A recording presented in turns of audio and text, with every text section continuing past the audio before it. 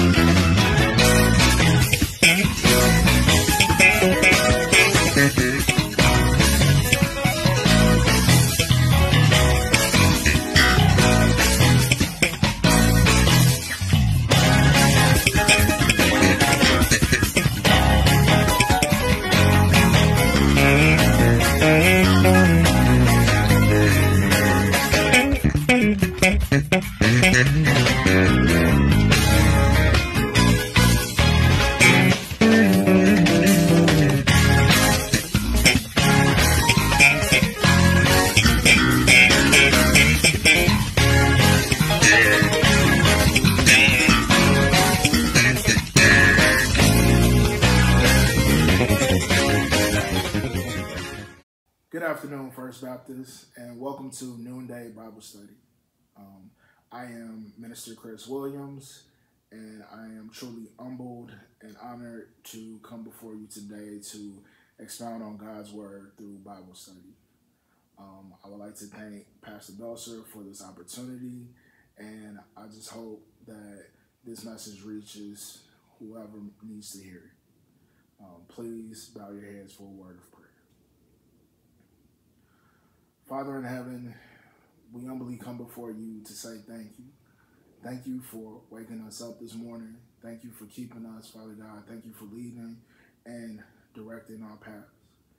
We pray that this word reaches whoever needs to hear it on today, Father, and that you speak through me and for me, Father. That your Holy Spirit moves in your people and those that need to know you like we know you will draw near to you. We thank you in Jesus' name. We pray. Amen. So, uh, today I would like to talk to you guys about the topic of prepare for takeoff. Now, a lot of times we hear the phrase that we are living in the last days. And when you really pay attention to everything that's going on around you, you know that that's true. Um, a lot of times we hear those words, and sometimes we can clench up and we get scared, or we might take it in a negative context. But those of us that are believers, when we hear that, we should really rejoice. Even though we may not know how long we have left on this earth, we know that all things work together for the good of them that love the Lord and that are called according to his purpose. So we as believers, we should rejoice in that. And the passage of scripture I like to dive into today, it kind of sets the example for how we should rejoice and why we should rejoice. If you have your Bibles, please turn with me to Joel, the second chapter, we're going to go to the 21st verse and we'll stop at the 27th. I'll give you a second to turn to it if you have your Bibles or if you're on your Bible app. Um, it'll be on the screen in one second. Joel, the second chapter and the 21st verse. Fear not, O land, be glad and rejoice for the Lord has done marvelous things. Do not be afraid, you beasts of the field, for the open pastures are springing up, and the tree bears its fruit. The fig tree and the vine yield their strength. Be glad then, you children of Zion, and rejoice in the Lord your God, for he has given you the former rain faithfully, and he will cause the rain to come down for you, the former rain and the latter rain in the first month. The threshing floors shall be full of wheat, and the vats shall overflow with new wine and oil. So I will restore to you the years that the swarming locust has eaten, the crawling locust, the consuming locust, and the chewing locust.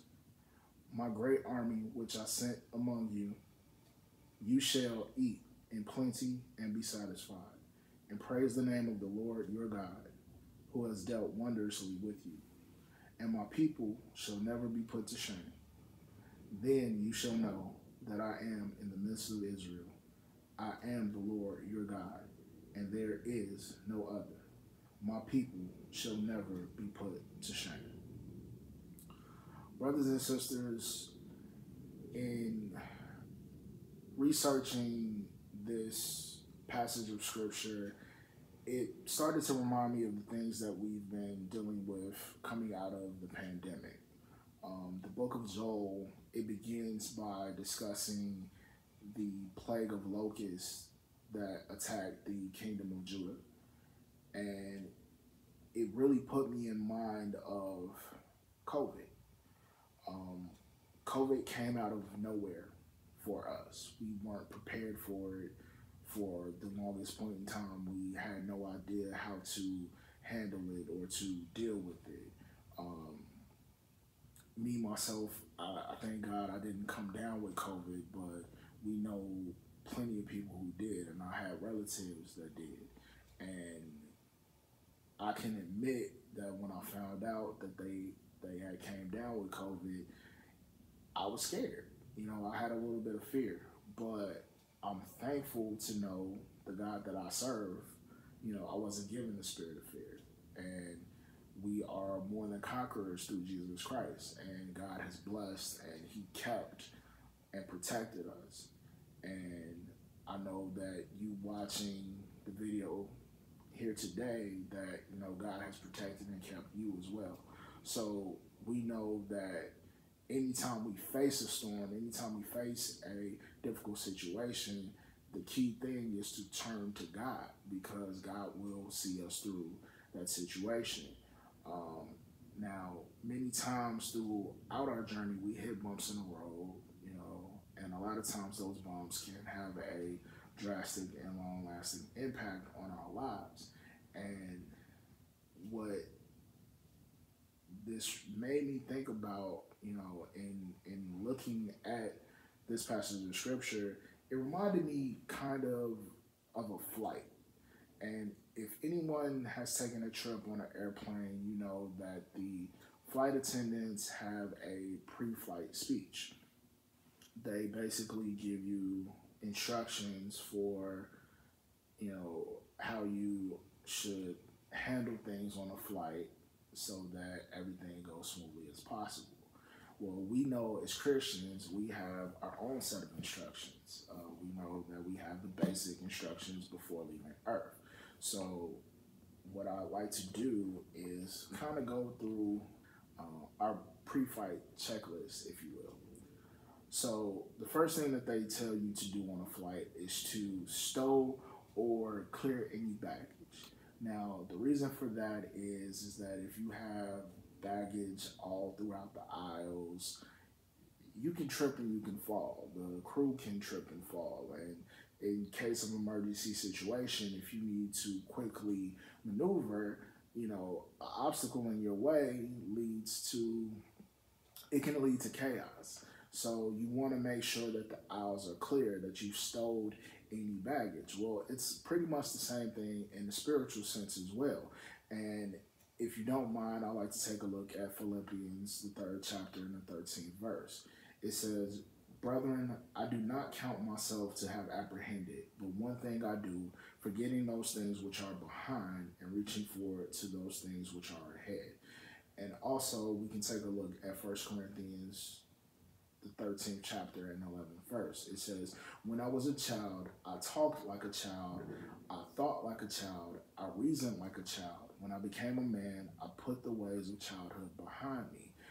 Basically, we have to clear out anything that's preventing us from having the relationship that we need to have with God.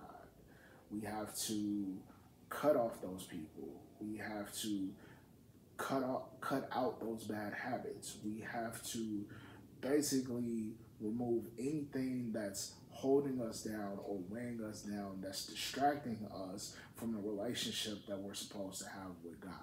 So you want to make sure that you stow or you clear out any baggage on your flight. The second thing that they tell you to do is to fasten your seatbelt. And for this, I want to take a look at Romans, the eighth chapter, the 38th and 39th verses. It says, For I'm persuaded that neither death, nor life, nor angels, nor principalities, nor powers, nor things present, nor things to come, nor height, nor depth, nor any other created thing shall be able to separate us from the love of God which is in Christ Jesus our Lord. Brothers and sisters, when you fasten your seatbelt, you are locked in. Okay? Nothing should be able to separate you from the love of God. Scratch that. Nothing can separate you from the love of God. God loves us in spite of all of our flaws, in spite of all of our wrongdoings. So you got to know that when you fasten your seatbelt, you're locked in. Um, for our young people, um, there's a popular audio going around on social media from a song. haven't listened to the song, not sure who made it, but it basically says, if we locked in, ain't no switching up. Well, that's the relationship that you want to have with God. Okay, uh, I know they're talking about things in the earthly sense in the song, but that's the relationship that you really want to have with God. You want to be locked in with God. And when you are locked in with God, ain't no switching up. There is no switching up. Nothing can separate you from the love of Jesus. Okay? So you have to know it's time to fasten your seatbelt. Don't waver. Don't falter. Lock yourself in because God is there for you. The next thing basically says to follow any crew member instructions. Now, the Bible is our set of instructions, and if we went through all the instructions that were given, you know, it would take us days. It would take us days and months to truly go through and to break down everything. And we don't have time for for all of that today, but uh, we just want to give you some quick highlights of things that you should, you know, focus on and really meditate on. Um, the first one is James, the fourth chapter and the eighth verse. It says, Draw near to God, and he will draw near to you. Cleanse your hands, you sinners, and purify your hearts, you double minded. We can't be double minded. We cannot serve two masters. You will lean to one and hate the other. So you want to make sure that you are choosing the correct master. You want to make sure that you choose God. God has our back in spite of everything that we've done wrong. So I don't know about y'all, but I choose to follow God. Acts, the second chapter and the 38th verse. Then Peter said to them, Repent and let every one of you be baptized in the name of Jesus Christ for the remission of sins, and you shall receive the gift of the Holy Spirit. Repent. Um, there's a common theme throughout the Bible, and that is repentance. Sometimes you have to fall on your knees and you have to apologize to him and, and, and acknowledge the fact that you've done things wrong or you've done things your way and you know that God's way is best. So you have to go ahead and take that time and talk to God and truly repent and truly mean it. We have the saying that actions speak louder than words. We can say everything that we want, but you have to be able to back it up. And that's one of the thing, key things here. Uh, you have to repent. Repenting, repenting is more than just saying something to God. It is backing it up with your actions. When you say, Lord, I need you, you have to mean it.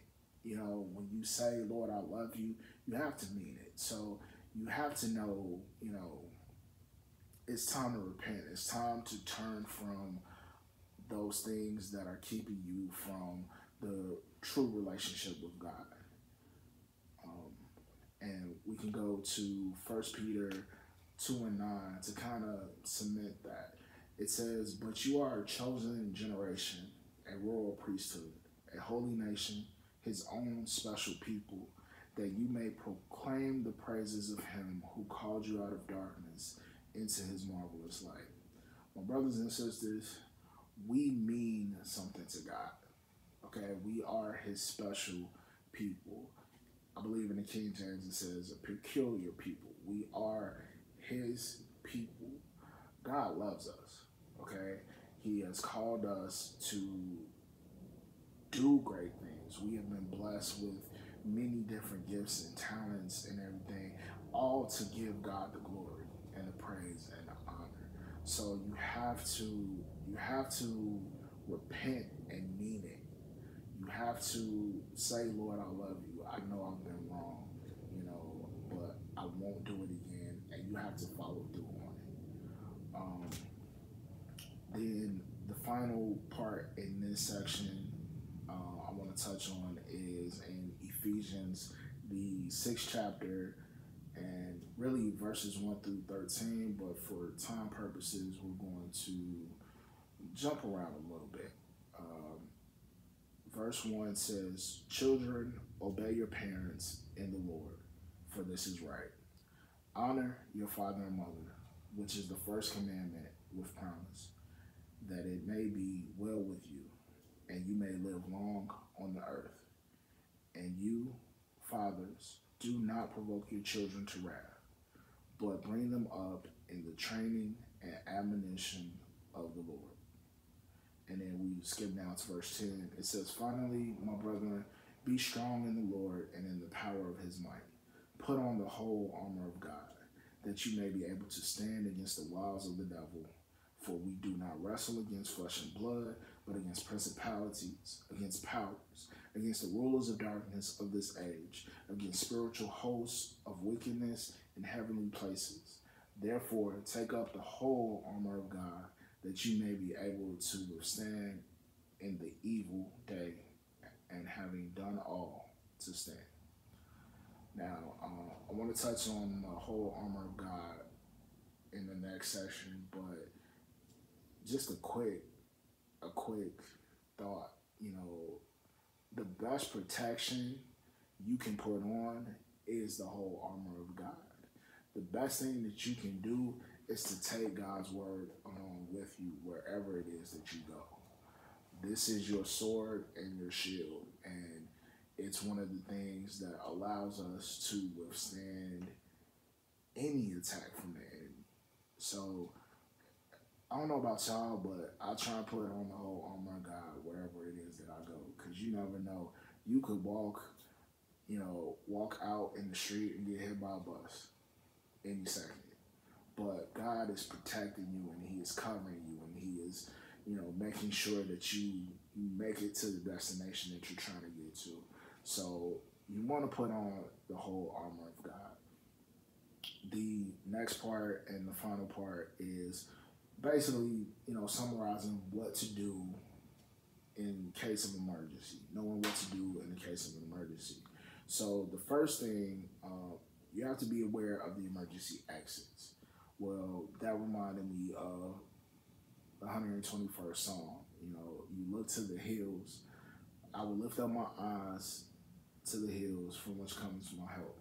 My help comes from the Lord who made heaven and earth. Look, uh, when you're in a situation and you don't know how to get out of it, the best thing you can do is look to the hills. Look, look to God. Talk to God. Ask Him to lead and guide you. Okay, because before we ever enter a situation, God has already prepared the exit. So look to the hills from which cometh your help. Okay. Uh, number two, secure your mask before helping others. Now, you always want to help others. You know, we always want to help each other out. We are commanded to love our neighbor as ourselves. So we want to make sure that we're looking out for each other. But you can't look out for somebody else if you're jacked up yourself. So you want to make sure that you secure your mask before helping others. And the example of this is Romans 10 and 9. If you confess with your mouth the Lord Jesus and believe in your heart that God has raised him from the dead, you will be saved. Save yourself, my brothers and sisters. You can help everybody else, but make sure that you save yourself. Um, number three, put on your life vest. And this is where we get back to the whole armor of God. Um, in Ephesians, the sixth chapter and the 13th through the 18th verses, it breaks down the whole armor of God. Verse 13 says, Therefore, put on the whole armor of God, so that when the day of evil comes, you may be able to stand your ground. And after you have done everything to stand, stand firm then with the belt of truth buckled around your waist, with the breastplate of righteousness in place, and with your feet fitted with the readiness that comes from the gospel of peace. In addition to all this, take up the shield of faith with which you can extinguish all the flaming arrows of the evil one. Take the helmet of salvation and the sword of the Spirit, which is the word of God, and pray in the Spirit on all occasions with all kinds of prayers and requests. With this in mind, be alert and always keep on praying for all the Lord's people. Put on the whole armor of God. Make sure that you're praying. Make sure that you talk to God. Make sure that you spend that time and and just let God know that He's the most important thing in your life. Um, I can't stress that enough. I've been working on that myself, and trust me, it has made a difference. Um, and then, lastly, we want to say that the seat can be used as a flotation device. Now, on a plane, this scenario is basically when the plane is going down, it has landed, it has to do an emergency landing in the water, and they want you to use the seat as a flotation device so you won't drown. Well, that made me think of the set of scriptures that we stand on as Christians. For God so loved the world that he gave his only begotten Son, that whoever believes in him should not perish, everlasting life. For God did not send his Son into the world to condemn the world, but that the world through him might be saved. John 3 16 and 17. My brothers and sisters, there is no greater love than the love that God has for us, that than the love that God has shown us. He gave Jesus for us. Jesus died for us on the cross.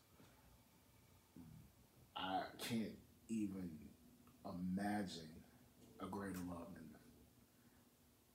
Like the love that a parent has for a kid, the love that a kid has for their parent cannot compare to that. It can't.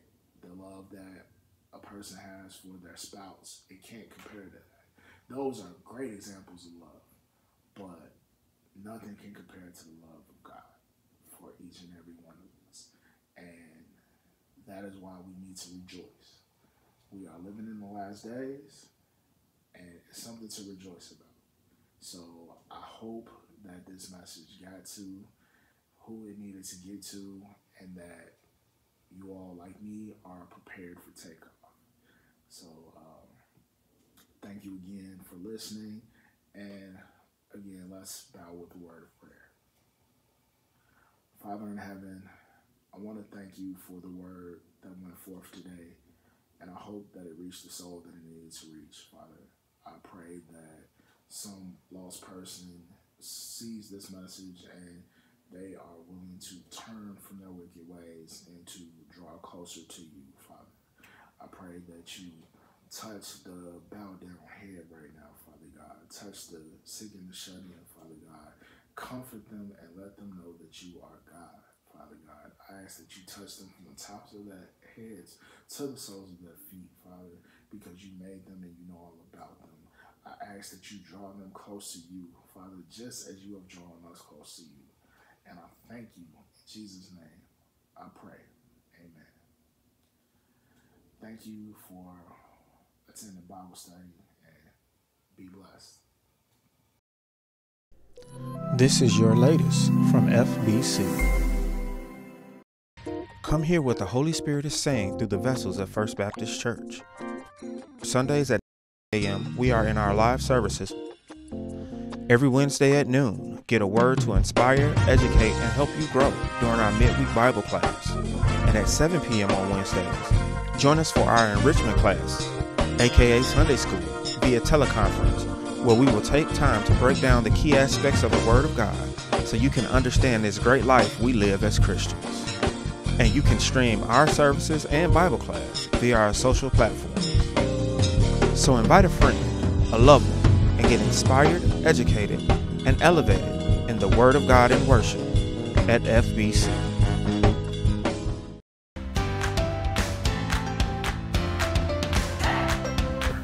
We are asking all members to assist by making a commitment to donate weekly, bi weekly, or even monthly. All donations will go into our debt free fund to liquidate our mortgage.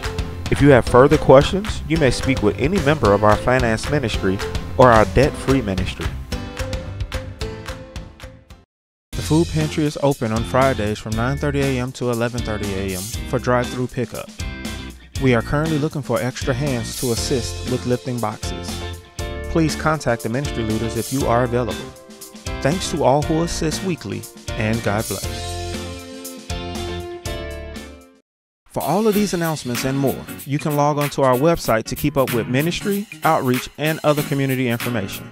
We encourage not just for you, but for you to have your family and friends go to our social media platforms. Hit those like and subscribe buttons so you can get notified every time we are live. If you would like to be a blessing to First Baptist Church, it's easy via our giving platforms. We encourage you to email or call us with your praise reports because we know God is still manifesting His promises, even in a pandemic. God bless, and this is your latest from FBC.